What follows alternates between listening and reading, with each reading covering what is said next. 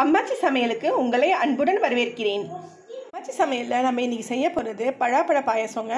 பழாப்பழம் செய் செய் பாயசம் செய்கிறதுக்கு என்னென்ன இன்க்ரீடியன்ஸ் வேணும்னு நம்ம பார்க்கலாம். இருபது பழாப்பழங்க இருபது சொல பழாப்பழம் தேங்காய் ஒரு கப்பு வெல்லம் ஒரு கப்பு பாசிப்பருப்பு ஒரு கப்பு முந்திரி பருப்பு ஒரு கப்பு. நெய் நமக்கு தேவையான அளவுக்கு. நம்ம ஒரு வானலில் பாசிப்பருப்பை இந்த வாசனை போகிற அளவுக்கு லேசாக ஒரு வறுத்துக்கலாங்க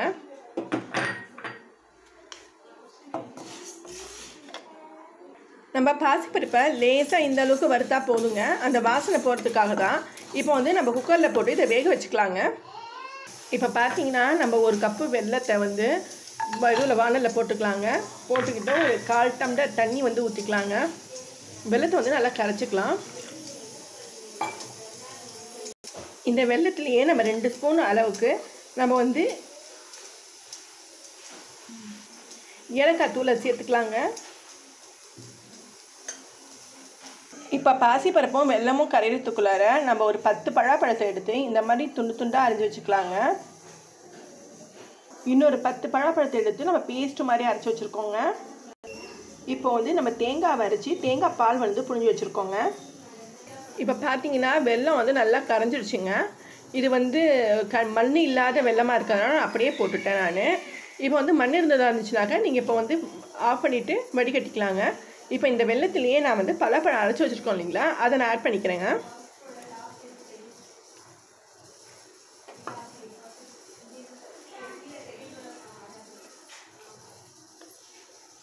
இப்போது நம்ம துண்டு துண்டாக கட் பண்ணி வச்சுருக்கோம் நீங்கள் இது வல்ல பழப்பழத்தை ஒரு பத்து பழப்பழத்தை அதையும் இதிலேயே போட்டுக்கலாங்க.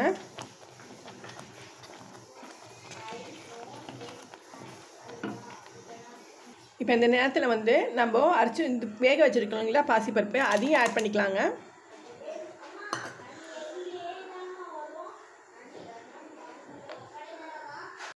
நம்ம ஒரு ரெண்டு ஸ்பூன் எண்ணெய் ஊ நெய் ஊற்றி இந்த முதிய பருப்பை பொரிச்சு எடுத்துடலாங்க. இப்போ பழப்பழத்தோட பாசிப்பருப்பும் சேர்ந்து நல்லா கொச்சிருச்சுங்க. இந்த நேரத்தில் வந்து நம்ம தேங்காய் பால் ஊற்றிக்கலாங்க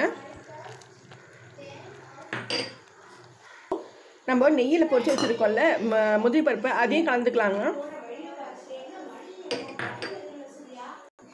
இப்போ நல்லா கொச்சிருச்சு. இந்த நேரத்தில் நம்ம அடுப்பை வந்து ஆஃப் பண்ணிடலாங்க.